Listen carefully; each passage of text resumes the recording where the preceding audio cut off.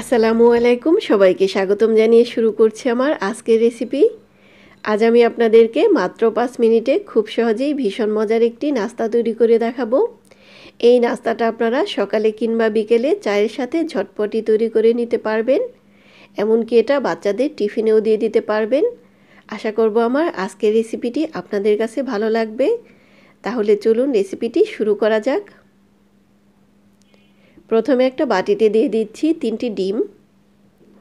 এরপর দিয়ে দিব লিকুইড দুধ, ওয়ান ফোর্থ কাপ। এবার এখানে কিছু সবজি কুচি করে কেটে নিয়েছি, পেঁয়াজ কুচি, টমেটো কুচি, সবুজ এবং লাল ক্যাপসিকাম কুচি, আর নিয়েছি কিছুটা বাঁধাকপি। যে কোনো সবজি পছন্দ মতো দেওয়া যাবে। এবার দিয়ে দিব পরিমাণ মতো কিছুটা লবণ। এরপর দিয়ে দিব হাফ চা চামচ গোলমরিচে গুঁড়া। আর দিয়ে দিব কিছুটা ধনিয়া পাতা কুচি। এরপর নেড়ে খুব ভালো করে মিশিয়ে নিতে হবে। মিশিয়ে নেওয়া হয়ে গেলে এবার বাটিটা আমি এক সাইডে রেখে দিব। এই সহজ এবং মজার নাস্তাটা তৈরি করতে লাগবে ব্রেড। এবার ব্রেডগুলো কেটে নিব। প্রথমে একটা ছুরি দিয়ে ব্রেডের চারপাশটা এভাবে করে কেটে নিতে হবে। কেটে নেওয়া হয়ে গেলে এবার নাস্তাটা বানিয়ে নিব। চুলায় একটা প্যান বসিয়ে দিয়ে দিচ্ছি এক টেবিল চামচ পরিমাণ বাটার।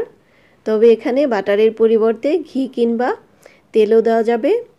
বাটারটা যখন গলে যাবে, এবার ব্রেডের কেটে নেওয়া অংশগুলো বসিয়ে দিব। এরপর দিয়ে দিব ডিম এবং সবজির মিশ্রণটা। এবার দিয়ে দিব মোজারেলা চিজ। মোজারেলা চিজটা আমি কুচি করে কেটে নিয়েছি। এরপর দিয়ে দিব স্লাইড চিজ তবে এখানে যে কোনো এক রকমের চিজও দেওয়া যাবে। এবার ব্রেডের বাকি অংশটা উপরে বসিয়ে হালকা হাতে একটু চেপে দিব। এরপর ঢাকনা দিয়ে ঢেকে চুলার আঁচটা কমিয়ে দিয়ে দুই তিন মিনিট জাল করে নিব।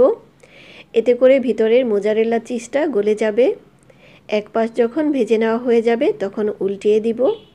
অপর পাশটাও একইভাবে ভেজে নিব। সকালে নাস্তাটা আমরা সকলেই চাই একটু সহজভাবে অল্প সময়ের মধ্যে তৈরি করে নিতে। এভাবে এই নাস্তাটা আপনারা একবার ট্রাই করে দেখতে পারেন।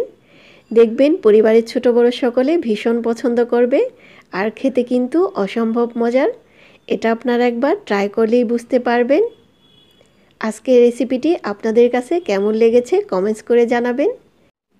রেসিপিটি ভালো লাগলে ভিডিওতে একটা লাইক দিতে ভুলবেন না, আর ভিডিওটি আপনারা শেয়ার করতে পারেন।